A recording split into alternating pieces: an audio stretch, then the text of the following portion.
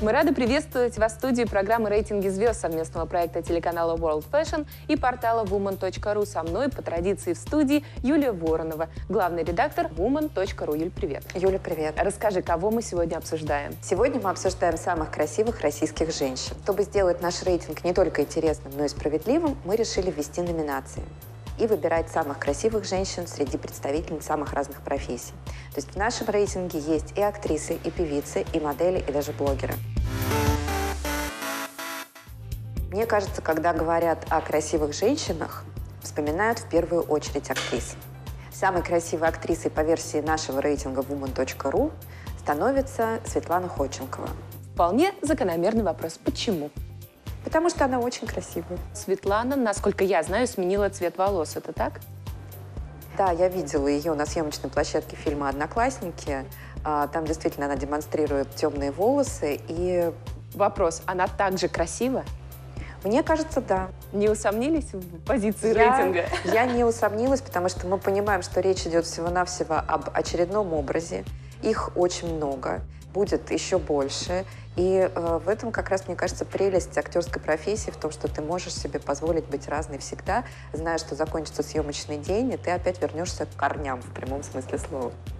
Юль, если я не ошибаюсь, Светлана Ходченкова не единственная актриса в рейтинге. Это так?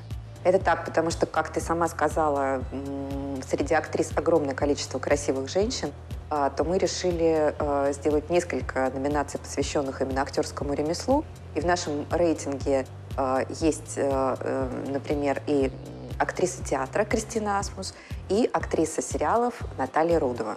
Конечно, кем же еще стать красивой женщине, как не актрисой или телеведущей? Кстати, есть ли в рейтинге самая красивая телеведущая? Обязательно победительницей в этой номинации стала Елена Летучая, ведущая программы «Ревизора».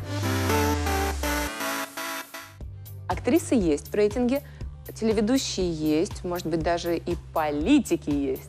Представь себе, Юля, политики у нас тоже есть. Точнее, одна девушка-политик Мария Кожевникова. Ну, кто, если не она, согласитесь. Маша невероятно красивая девушка, талантливая и э, просто мега женственная. Даже с короткими волосами. Даже с короткими волосами и совсем без волос она прекрасна. Как выглядит сегодня Маша? Она явно на пути к какому-то образу, и я хочу сказать, что в этом промежуточном этапе она выглядит прекрасно. Ну, с такой внешностью, согласитесь, можно себе позволить любые эксперименты, они никоим образом не испортят внешность.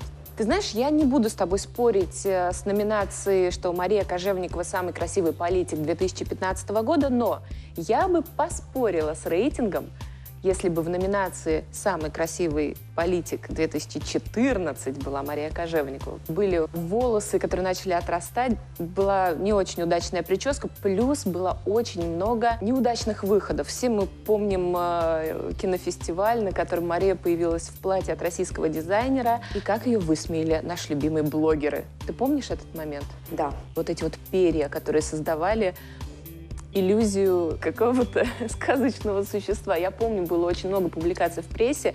Не самый удачный год для Марии, но в 2015 Мария по праву занимает место в рейтинге портала woman.ru. Раз уж мы находимся на телеканале World Fashion Channel, само собой я хочу затронуть такую тему, как самая красивая дизайнер. Если сравнивать мир моды на Западе и в России, то в России, как правило, все женщины-дизайнеры красивые. В рейтинге woman.ru самый красивый дизайнер. Кто она? Ульяна Сергиенко. Ульяна настолько прекрасна и обладает настолько эффектной, запоминающейся внешностью, и при этом э, внешностью именно такой красивой славянской, э, что, мне кажется, во многом и ее внешность помогла ей достичь того успеха на Западе, которого она добилась. Мне очень нравится Ульяна Сергиенко, но раз уж рейтинг вмещает только одну женщину-дизайнера, оставим действительно там Ульяну. Но по праву всех российских женщин-дизайнеров можно назвать красавицами. Ну, Кстати, почему же только одна женщина-дизайнер? В нашем рейтинге их побольше. Например, Наталья Якимчик, которая у нас э, становится победительницей в, в номинации «It Girl». А, Она также является дизайнером, и она также является очень красивой женщиной. Ну и раз уж мы затронули тему моды, давай назовем самую красивую девушку-модель. Валерия Кауфман. Скажи честно, вы ее выбрали до того, как она стала девушкой Джареда Лето или после? На самом деле мы положили на нее глаз уже давно. В прошлом году, а, когда еще ни о каком знакомстве с Джаредом речи не шло, а, мы просто пришли в самый настоящий восторг, когда увидели первые фотографии из э, рекламной кампании в Сен-Лоран-Пари, а, в которых э, снялась э, Лера. Всегда видеть родные российские лица на международной модной арене – это очень приятно. А как приятно, когда эти лица российские модельные входят в 50, в топ-50 лучших моделей мира.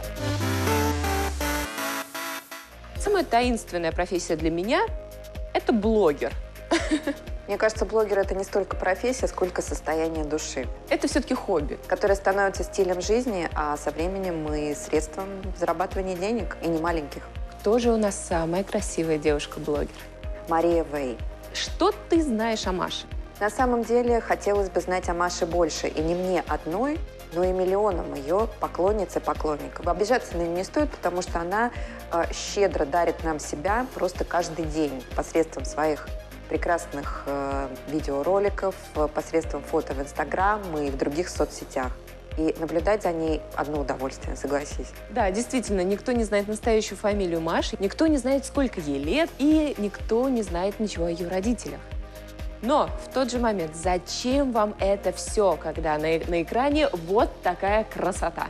Мне уже все равно, кто ее родители, сколько ей лет, откуда она и что еще там происходит в ее жизни. Мне достаточно красивые картинки. Мне очень интересно смотреть на то, что делает Маша. Не мне одной, и я очень рада, а, что мы включили ее в этот рейтинг. Я думаю, что мы будем продолжать работать э, с, с этой номинацией и просто из года в год обязательно обращать внимание на красивых девушек из интернета. Также я бы хотела упомянуть еще двух участниц нашего рейтинга. А, это победительница в номинации «Самая красивая бизнес-вумен» Яна Расковалова, а также победительница в номинации «Самая красивая спортсменка» еще одна Яна Кудрявцева, она гимнастка. Если я не ошибаюсь, мы озвучили 11 номинаций. У нас есть актрисы, у нас есть модели, у нас есть блогеры. Певица. Кого выбрали вы? Полину Гагарину. Полина Гагарина прекрасная. 2015 год, мне кажется, стал ее годом. Это действительно год Полины. Это ее успех заслуженный, ее слава. Нам остается наслаждаться ее творчеством и любоваться Полиной как исключительно красивой женщиной. Я уверена, что скептики скажут, вы поставили Полину Гагарину в рейтинг только потому, что она участвовала в Евровидении, да никакая она не красавица.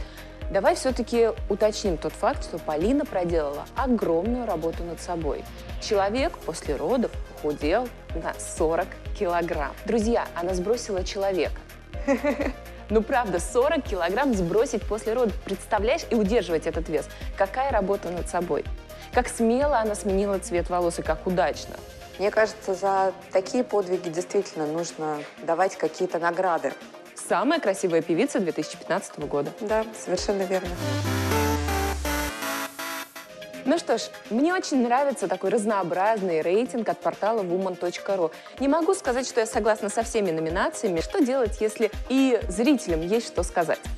Если вам есть что сказать, добро пожаловать на портал woman.ru. Оставляйте свои комментарии, делитесь своими впечатлениями, высказывайте свое мнение. Я буду только рада.